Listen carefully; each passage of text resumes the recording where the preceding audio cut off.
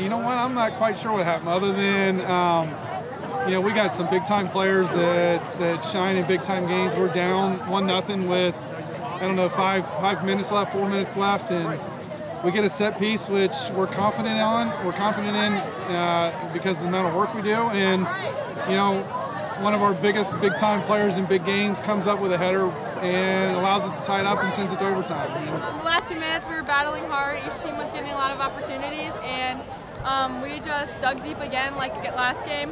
A ball got played to me on the outside, I crossed it in, and Jelly just had an awesome finish, and that's just how we roll.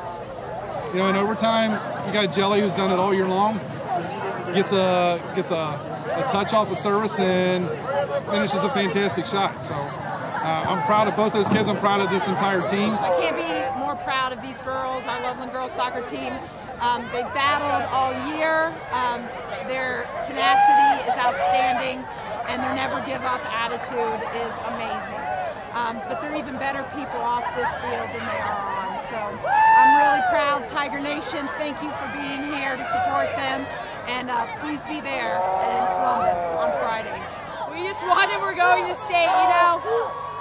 The second that they scored, I kind of just knew something was going to happen, that we were going to come back and this team is literally the best team I've ever played for, and they fight till the end. They, they continue to get it done, and we've got to get one more done. That's that's what we're we're striving for. It's no more one at a time, survive in advance. It's let's go get it done. Uh, our girls are going to state. Well, I, all I can tell you is, I mean, one sigh of relief, but as it's been in all of our tournament runs, Tiger Nation, there is none better. There is not a there's not a school in the state of Ohio that has a true following like this.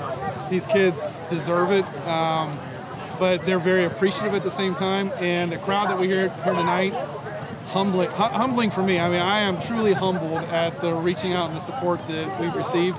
And we're going to ask one more time that they come out and support us on Friday. We don't know the time, but come out and support us. These kids need you, and we're going to hopefully bring a state championship back home to Loveland.